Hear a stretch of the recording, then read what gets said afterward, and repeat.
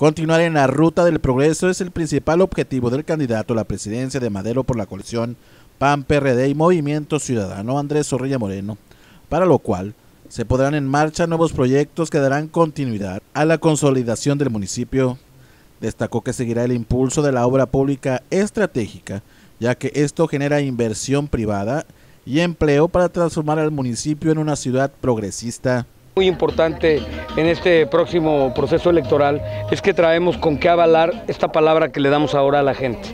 Eso nos ha, ha dado una gran confianza en todos los recorridos y cada vez que tenemos una reunión con la ciudadanía, con la gente de las colonias, nos escucha con mucha esperanza, pero porque confía en nosotros. Y confía en nosotros porque en Madero hemos hecho un gobierno muy comprometido, muy genuino, muy entregado a nuestra gente, muy de consulta con la ciudadanía y por supuesto con una alianza estatal extraordinaria. Hemos dado resultados.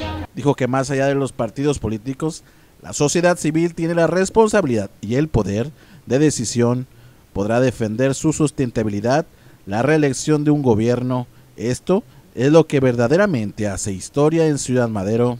Y en los resultados está implícita una reelección y la naturaleza de una reelección, la naturaleza real en un tema reelectoral, es que quien dé resultados continúe. Ese es el, ese es el fondo concreto es un tema que va mucho más allá de un tema de partidos. Finalmente, el candidato invitó a la ciudadanía a su precierre de campaña, que será en la unidad deportiva este sábado 23 de junio en punto de las 19 horas, donde el evento será amenizado por el grupo musical La Firma. La idea de hacer este evento en sábado es, digamos, un precierre eh, dedicado a nuestra gente que nos ha recibido en todas sus colonias. Eh, vamos a estar a las 8 de la noche en la unidad deportiva. Están muy cordialmente invitados e invitadas eh, a participar con nosotros.